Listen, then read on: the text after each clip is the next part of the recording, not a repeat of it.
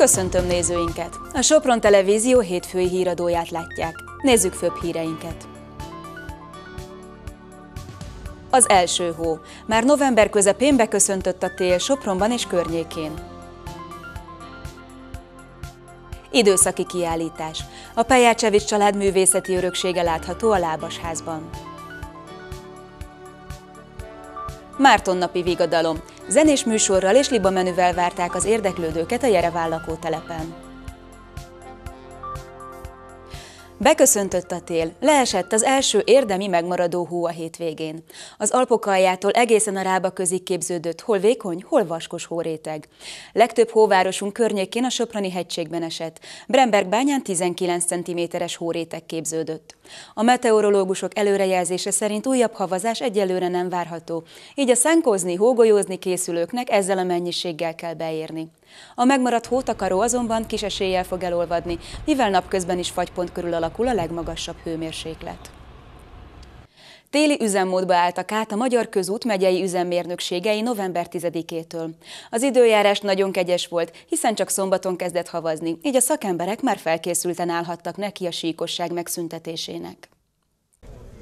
Hivatalosan minden év november 10-én kezdődik a téli szolgálat a Magyar Közút Nonprofit ZRT-nél, azonban az időjárási viszonyoknak megfelelően ez bármikor módosulhat. A cég elsődleges feladata a téli időszakban a hóeltakarítás és a sikosságmentesítés.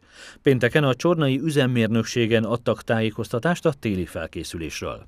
A Magyar Közút az állami úthálózaton dolgozik, ez a mi megyénkben 1770 km úthálózatot jelent. Öt mérnökség, mérnökségenként 350 500 kilométeres úthálózatot kezel, kezdve a legnagyobb forgalmú főutaktól egészen a kisforgalmú állomási bekötő utakig. Ez a forgalmi jellemző, ez, ez a téli beavatkozásunk rendszerét is meghatározza. Elsősorban és legelőször a, a nagyforgalmú útjainkra vonulunk ki, a járműveink itt végzik el először a munkát, és ezeken befejezve, ezek befejezése után tudnak a, az egyre alacsonyabb rendű, kisebb forgalmú utakra menni. A védekezési munkákat idén is a törvényi előírásoknak megfelelően végzi a társaság, az úthálózati szerepük alapján fontos szakaszokon preventív jellegű sózást végezve. A hóeltakarítást viszont csak akkor tudják megkezdeni, ha a lehollott hó vastagsága meghaladja az 5 cm-t. Ez alatt csak sózásra van lehetőség, megelőzve a forgalom által letaposott hó burkolatra fagyását. A téli időszakban a feladatok végrehajtását minden készenléti helyen 24 órás megerősített ügyeleti rendszer segíti, felügyeli. Megnyílt a Pejácsevics család művészeti örökségét bemutató kiállítás a Lábasházban pénteken.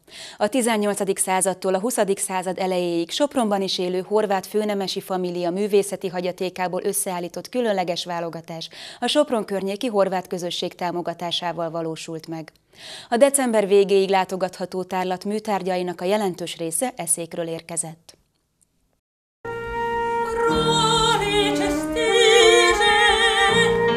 Stílszerűen indult az időszaki tárlat megnyitója.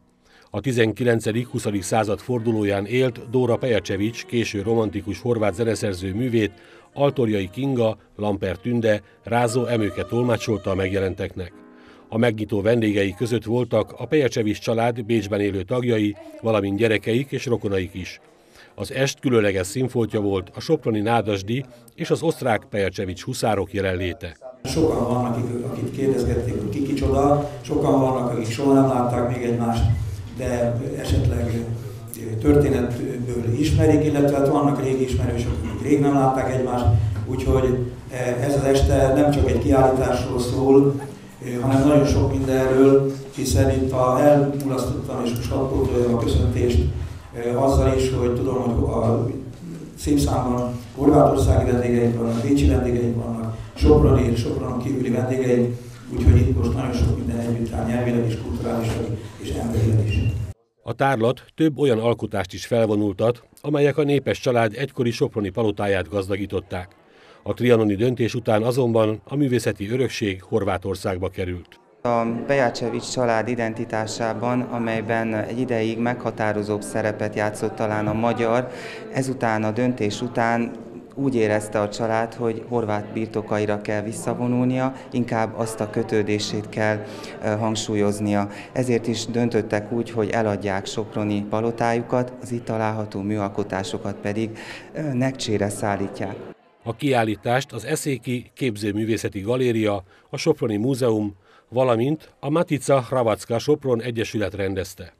Pajrics Ferenc segítségével létrejött az Eszéki Múzeum munkatársaival. Korábban már létezett ez az együttműködés, hiszen a stornókkal igen jó kapcsolatban voltak a Pejácsevicsek, és ennek kapcsán már működtünk együtt, volt stornóanyag Eszéken. Most ezúttal úgy alakult, hogy ők hozták el a gyűjteményüket ide hozzánk. A megnyitott időszaki tárlat törzsanyagát 30 olajvászon festmény és egy márványszobor adja. A kiállított műalkotásoknak köszönhetően a család régi és még élő tagjai néhány pillanatra ismét egymás mellett lehettek Sopronban. Elsősorban a családi ősgaléria darabjairól van szó, amelyekről Pejácsevics Julián Tánmortól, a neves magyar festőtől másolatokat készítetett az eredeti barokk képek után. Emellett láthatunk itt egy gyönyörű eredeti barokk képmást Pejácsevics Eleonóráról, aki Károly második felesége volt, illetve néhány itáliai mesterek nyomán készült másolatot is, és Ligeti Antalnak egy gyönyörű tájképét.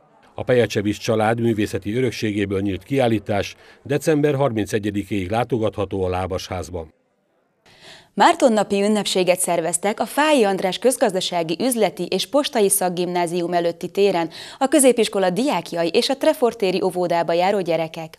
Az érdeklődőket zenés műsorral és libamenüvel is várták pénteken.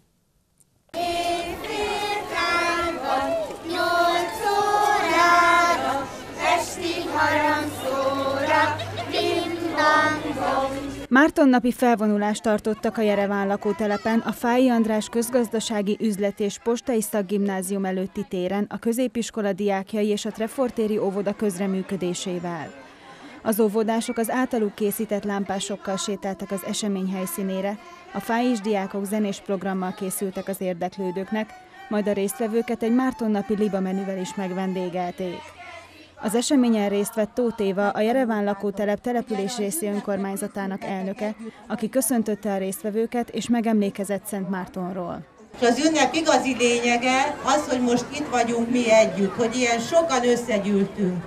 Azt képzeljétek el, hogy élt ez az ember, ez a katona ember, akiből aztán szent lett, és az ő élete olyan volt, hogy még a mai nap is, 2016-ban ennyien összegyűlünk, ennyien összegyűlünk itt a Jereván lakótelepen, azért, hogy őt ünnepeljük, hogy ezt az ünnepet ünnepeljük.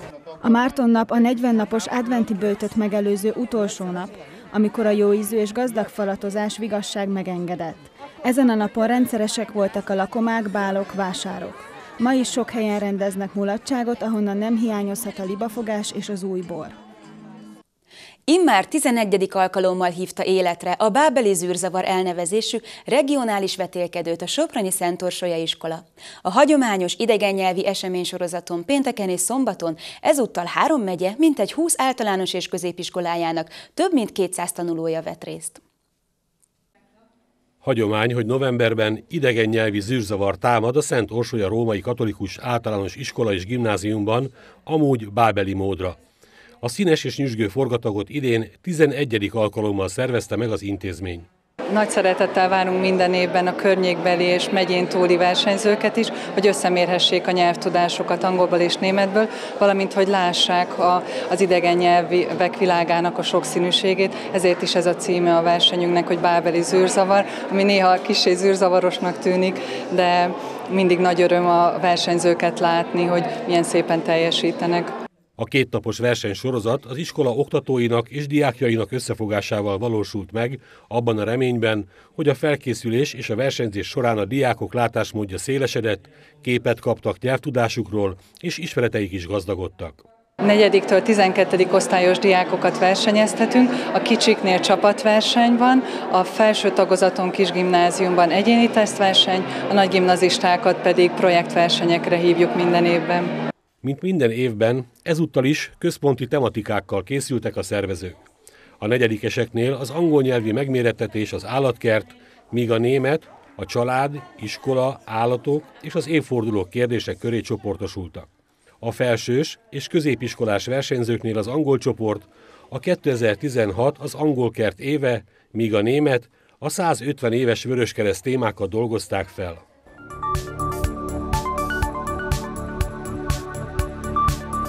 A még veretlen Hévis csapatát fogadták a Soproni Tigrisek a belvárosi csarnokban.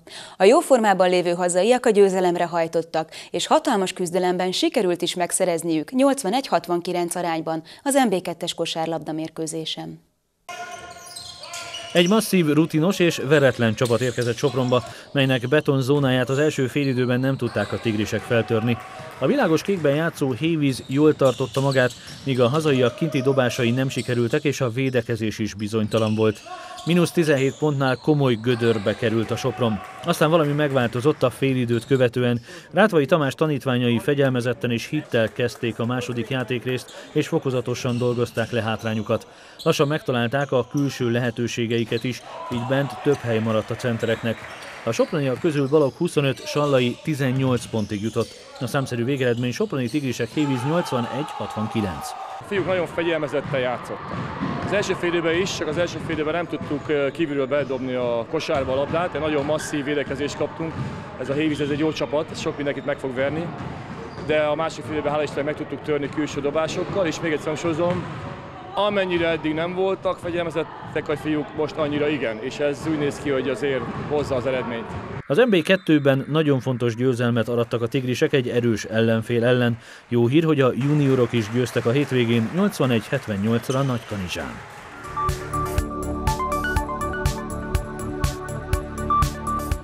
Most megmutatjuk, milyen időjárásra számíthatunk. Majd következik a mozaik, melynek vendége Králik Tibor, a Soproni Szakképzési Centrum főigazgatója lesz. Utána Hajrá Sopron című magazinunkat láthatják. Kedves nézőink, a Sopron Televízió hétfői híradójának végén valamennyi munkatársam nevében köszönöm figyelmüket. Viszontlátásra!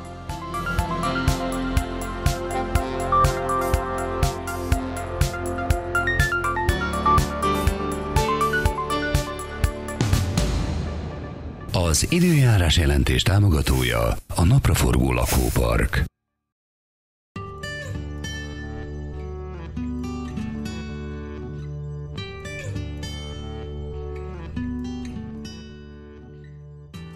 Kedden sok napsütésre számíthatunk, kevés felhő lesz az égen, csapadék nem várható. A déli délnyugati szél megélénkülhet. A hőmérséklet 2-6 fok körül alakul majd.